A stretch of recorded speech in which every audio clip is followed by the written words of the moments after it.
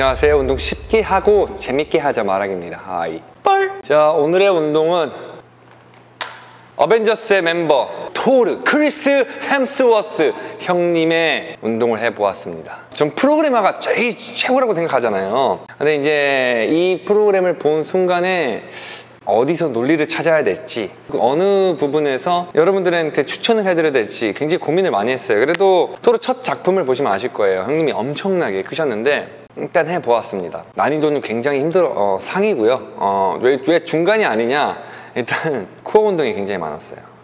근데 그게 맞는 것 같아요. 왜냐하면 영화화하기 때문에 예, 보여지는 모습이 주- 많다 보니까 어, 뭐 어떠한 균형적인 운동이라기보다는 보여지는 면에서는 굉장히 도움이 많이 될 거라고 생각을 합니다. 저 솔직히 말씀드릴게요. 왜 이렇게 운동을 이렇게 하시는지는 저도 잘 모르겠어요. 동양인들이 먹는 식단으로는 좀 회복이 절대 못 따라갈 거라 생각을 하고 단백질, 지방 그리고 탄수화물을 적절히 드셔줄 수 있는 분들이 하시면 좋을 것 같아요. 이게 무슨 뭐 그렇다고 해서 극한적인 운동의 퍼포먼스를 보여주는 거냐 것도 아니고 뭐 굉장히 높은 무게를 지니는 것도 아니고 운동량과 휴식이 반반이라고 생각했다면 이건 좀 영양학과 또 휴식이 좀 더 비중이 높은 그런 거라고 생각을 해요. 제가 항상 추구하는 한 가지 운동만 집중하는 게 아니에요. 그러니까 웨이트 트레이닝을 한 가지 단위의 운동이라 생각하면 바깥에서 뛰는 거, 권투, 뭐 격투기, grappling 여러 가지를 다 복합적으로 운동해요.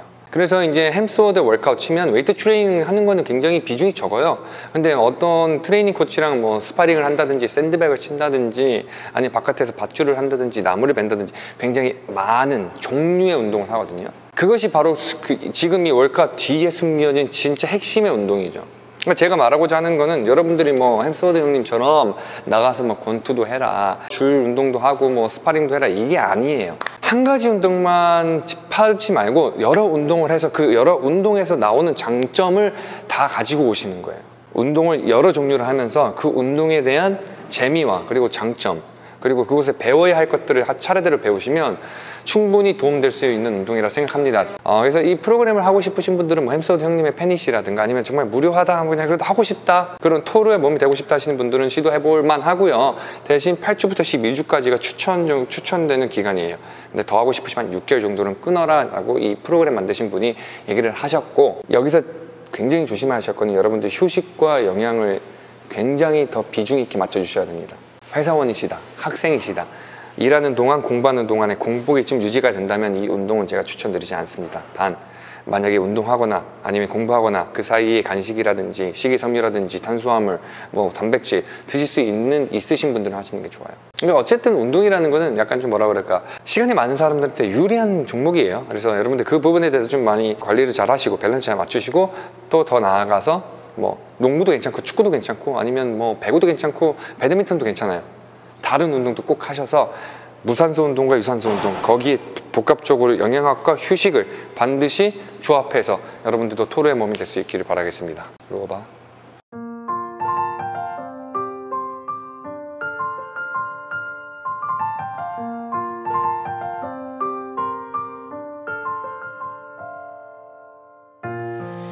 봐 하얗게 밤을 태우고 어. 맥주를 들이마셨어 yeah.